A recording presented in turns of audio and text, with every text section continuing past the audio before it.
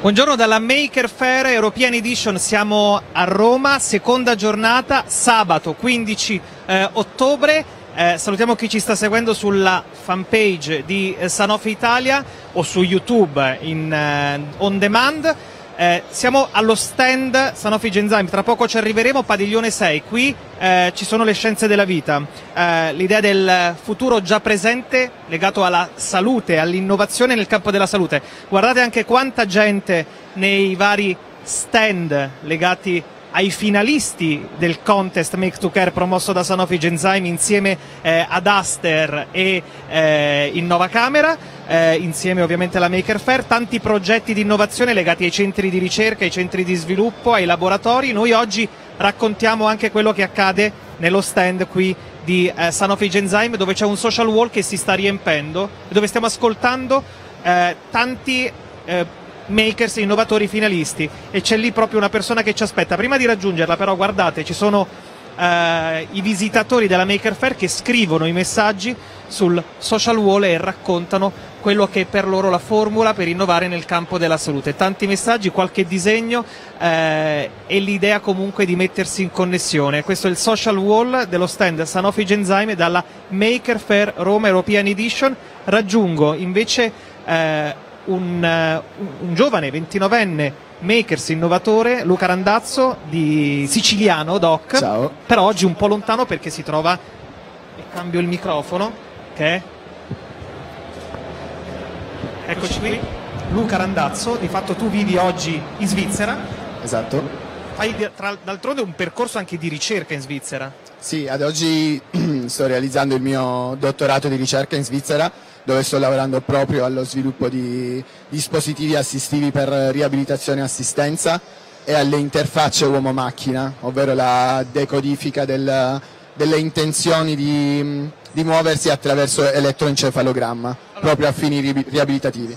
A fini riabilitativi, a fini, a fini medicali, tra l'altro hai dei dispositivi collegati, questo è il tuo progetto Ubotics e ci racconti cos'è Ubotics, uno dei 13 finalisti del contest Make to Care di Sanofi Genzyme. Uh, Ubotics è, come vedete, un, um, un esoscheletro, ovvero un dispositivo robotico completamente indossabile. L'idea di base è quella di avere un dispositivo che permetta la riabilitazione e assistenza direttamente a casa del paziente, ovvero quando molte volte appunto le persone disabili che hanno bisogno di riabilitazione motoria essendo dipendenti non possono andare mh, continuamente dal fisioterapista o all'interno degli ospedali eh, per accedere a cure riabilitative.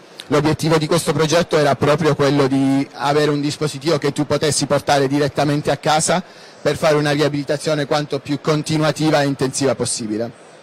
Al fine di realizzarlo in maniera quanto più personalizzabile alla- alle esigenze degli utenti, lo abbiamo realizzato con, eh, interamente con stampanti 3D, ciò significa che appunto è assolutamente personalizzabile alle esigenze dell'utente finale, che sia un bimbo, un adulto o una persona anziana, potremmo stampare un esoscheletro su misura. E, appunto si potrebbe preimpostare dei programmi di riabilitazioni personalizzati così che il fisioterapista registra questi programmi e il paziente può ripeterli a casa tutte le volte che è necessario. Quindi il rapporto uomo-macchina che riesce a risolvere anche un tema di eh, sostenibilità, anche di distanza per andare a fare cure riabilitative, abbatte anche costi e tempi. Assolutamente, uno degli obiettivi principali era quello di abbattere proprio i costi relativi alla, alla riabilitazione, sia per le famiglie che appunto non possono costantemente andare in clinica o in, o in ospedale, sia per l'utente finale, eh, finale quindi che può portare questo dispositivo a casa, sia per ovviamente l'healthcare in generale, perché questi dispositivi ad oggi esistono ma costano nell'ordine, sono dell'ordine dei 50.000 euro. Appunto realizzandolo attraverso queste tecnologie riusciamo ad abbattere ehm, moltissimo i costi Di e allo quanto, stesso per tempo ma adesso noi siamo in fase prototipale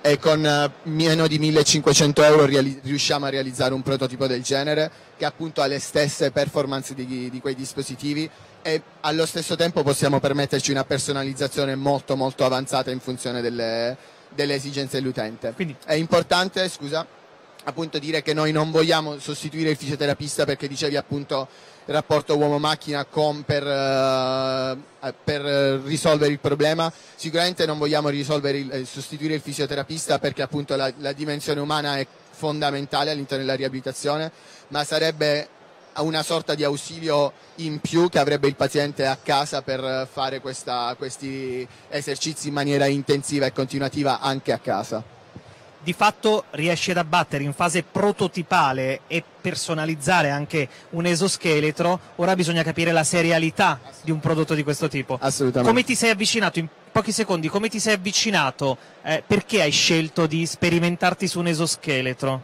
Ma io, io ho studiato ingegneria e quando ho finito il, il mio master mi sono reso conto appunto che eh, mi sarebbe piaciuto molto spendere le, le, mie capacità da ingegnere per fare qualcosa che potesse risolvere dei, dei problemi e quindi ho deciso appunto di avvicinarmi a questo campo. Per, anche per esperienza personale ho visto che questi dispositivi sono molto molto costosi e quindi restano all'interno delle cliniche e quindi mi interessava riuscire a sviluppare un prodotto che riuscisse ad arrivare invece direttamente a casa dei pazienti. Grazie, lui è Luca Randazzo, eh, uno dei 13 finalisti di Make to Care con Ubotics. Grazie Luca. Grazie a voi.